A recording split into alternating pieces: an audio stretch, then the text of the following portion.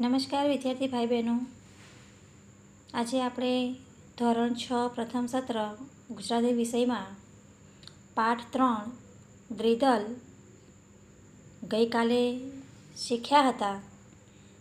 બે બોધકથાઓ હતી આ પાઠમાં. એમાં આપણે એક બોધકથા વિશે જાણ્યા હતા કે જેમાં શિલ્પીની આત્મનિષ્ઠા અને પ્રભુનિષ્ઠા સુંદર રીતે વ્યક્ત કરી હતી.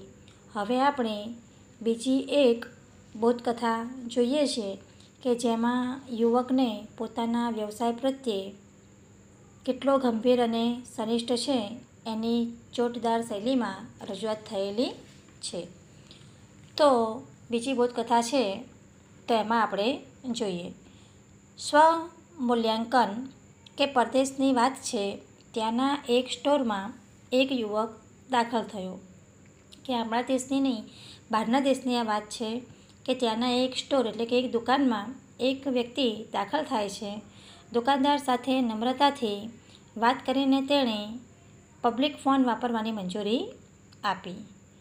કે દુકાનદાર સાથે વિવેકથી વાત કરી અને વાત કર્યા પછી તેણે પબ્લિક ફોન વાપરવાની છૂટ આપી અને દુકાનદારે પણ હા પાડી કે તમે આ વાપરી શકો છો.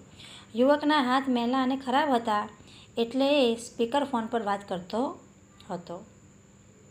અન્ય કોઈ ગ્રાહક એ સમયે સ્ટોરમાં હાજર ન હોવાથી દુકાનદાર એની વાત ધ્યાનથી સાંભળી રહ્યો હતો.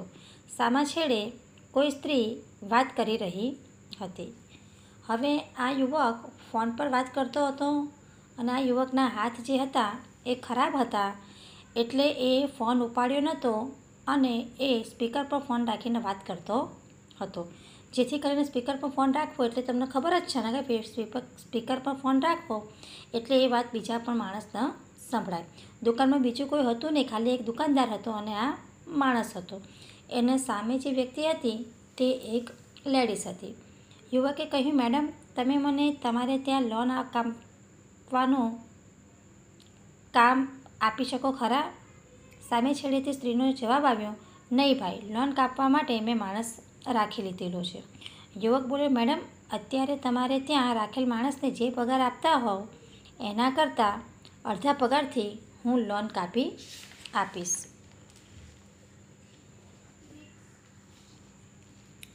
સામે છેડેથી સ્ત્રીએ કહ્યું કે, ના ભાઈ, હાલ લોન કાપવાનું કામ જે માણસ કરે છે, તેને મને કોઈ જ ફરિયાદ નથી. હવે આ બે વ્યક્તિ જે વાતો કરતા હતા એમાં મેડમે લોન કાપવાનું કામ એક વ્યક્તિને સોંપી દીધું હતું. લોન એટલે કે બાગ બગીચામાં ઉગેલું લીલું ઘાસ. એ કાપવા માટે આ માણસને આવડતું હતું એટલે એમણે કીધું કે, કામ કરો મને, તમે આ કામ આપો. પણ સામે સ્ત્રીએ કીધું કે, ના, એ કામ મેં એક વ્યક્તિને આપી દીધું છે. ત્યારે આ યુવક એવું કહે છે કે, એક કામ કરો, તમે એ વ્યક્તિને જેટલામાં આપ્યું હોય, એના કરતાં મને અડધી કિંમતમાં આપશો તો હું અડધામાં પૈસામાં પણ એ કામ તમને કરી દઈશ. પણ સ્ત્રીએ કહ્યું કે ના, અત્યારે હાલ જે માણસ કામ કરે છે, તેની મને કોઈ ફરિયાદ જ નથી. યુવકે કહ્યું, મેડમ, લોન કાપવાની સાથે હું તમારા ઘરની આજુબાજુનો રસ્તો પણ સાફ કરી આપીશ. એ માટે કોઈ વધારાની રકમ નહીં લઉં. પેલી સ્ત્રીએ જવાબ આપ્યો, ના ભાઈ, આભાર. મને હમણાં બીજી કોઈ વ્યક્તિની જરૂર નથી. મેં રોકેલા માણસને મને પૂરેપૂરો સંતોષ છે. પેલી સ્ત્રીએ સચોટ શબ્દમાં કહી દીધું કે, મારે કોઈ જ માણસની જરૂર નથી. તમારો ખૂબ આભાર તમે મને જે રીતે કહો છો એ રીતે. પણ મારે અત્યારે હાલ જરૂર નથી. આ યુવકે એવું કીધું કે, હું તમારા ઘરના બગીચાનું લીલું ઘાસ તો કાપી જ દઈશ. સાથે સાથે તમારો રસ્તો પણ સાફ કરી નાખીશ. આટલી વાત પૂરી કરીને ખુશ ખુશાલ ચહેરે એ યુવકે ફોનનું સ્પીકર બંધ કર્યું. દુકાનદારે ફરી એકવાર આભાર માનીને એ જવાની તૈયારી કરતો હતો. એ જ વખતે દુકાનદારે એને બોલાવ્યો. એની બધી વાતચીત સાંભળી એ પણ ખુશ થઈ ગયો હતો. પેલી સ્ત્રીએ કામ આપવાની ના પાડી છતાં યુવકના ચહેરા પર નિરાશાની કોઈ રેખા ન હતી અને એ જરાય ઉદાસ પણ ન થયો. ટૂંકમાં એની એક ખુમારી એને સ્પર્શી ગઈ. યુવક પાસે આવ્યો એટલે દુકાનદારે કહ્યું યુવક પેલી સ્ત્રીએ કામ કરવાની ના પાડી, પણ તું ખુશ રહી શક્યો એ વાત જ મને ખૂબ સ્પર્શી ગઈ છે. એણે ભલે ના પાડી, પરંતુ હું કામ કરવા તૈયાર છું. બોલ, મારે ત્યાં કામ કરીશ? હવે આ જે દુકાનદાર હતો, એ દુકાનદારને આ યુવકની એક વાત ખૂબ જ ગમી.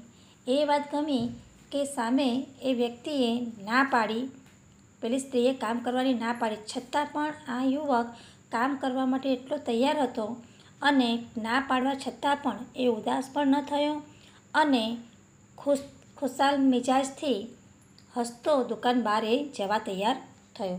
તો દુકાનદારે એને એવું કહ્યું કે એક કામ કર પેલી સ્ત્રીએ કામ આપવાની ભલે ના પાડી, પણ મારી પાસે એક કામ છે. તો બોલ, તું મારે ત્યાં કામ કરીશ? પેલા યુવકે હસતા હસતા ના પાડી કે, ના, હું એ કામ નહીં કરું. દુકાનદારને અત્યંત નવાઈ લાગી. એણે કહ્યું, પણ દીકરા, હમણાં તો તું પેલી સ્ત્રીને માટે રીતસર આજીજી કરી રહ્યો હતો. કામ નહોતું જોઈતું તો પછી એવું શા માટે કરતો હતો? યુવકે હસતા હસતા બોલ્યો, કે જ્યારે આ યુવકે ના પાડી કે ના સાહેબ, હું તમારે ત્યાં કામ નહીં કરું. ત્યારે દુકાનદારે એવું કીધું કે હમણાં જ તો પેલી સ્ત્રીને આજીજી કરતો હતો, કાલાવાલા કરતો હતો, વિનંતી કરતો હતો કે મારે કામ કરવું છે તો તમે મને કરવા દો, હું અડધા પૈસામાં પણ કરી આપીશ. અને અત્યારે હાલ હું તને કહું છું તો તું ના પાડે છે. યુવક હસતા હસતા બોલ્યો, નહીં સર, હું એ મેડમને ત્યાં કામ કરું છું. આ તો કામ એવું છે, એ તપાસવા માટે જ મેં એમને ફોન કરેલો, જેથી કરીને મારા કામ અંગે ખ્યાલ આવે. દુકાનદારને એક નિર્દોષ સ્મિત આપીને એણે વિદાય લીધી. દુકાનદાર એને જોતો જોઈ રહ્યો અને ક્યાંય સુધી યુવકની સ્વમૂલ્યાંકનની રીત બિરદાવતો રહ્યો. વિદ્યાર્થી મિત્રો, જુઓ આ વ્યક્તિ જે યુવક દુકાનદારને ફોન કરતો હતો અને જે મેડમ જોડે વાત કરતો હતો ને, હકીકતમાં આ યુવક એ જ વ્યક્તિ હતો જે પેલી સ્ત્રીને ત્યાં લોન કાપતો હતો. સમજણ પડી તમને? એટલે કે એ એવું જોતો હતો કે મારી ગેરહાજરીમાં પણ એ મેડમ શું એના પર એટલો વિશ્વાસ રાખે છે? કે મારા કામની એટલી કદર કરે છે? તમે કામ કેવું કરો છો? એ તમારા કરતાં તમારી સામેની વ્યક્તિને એની કદર હોવી જોઈએ. જોયું ને વિદ્યાર્થી મિત્રો?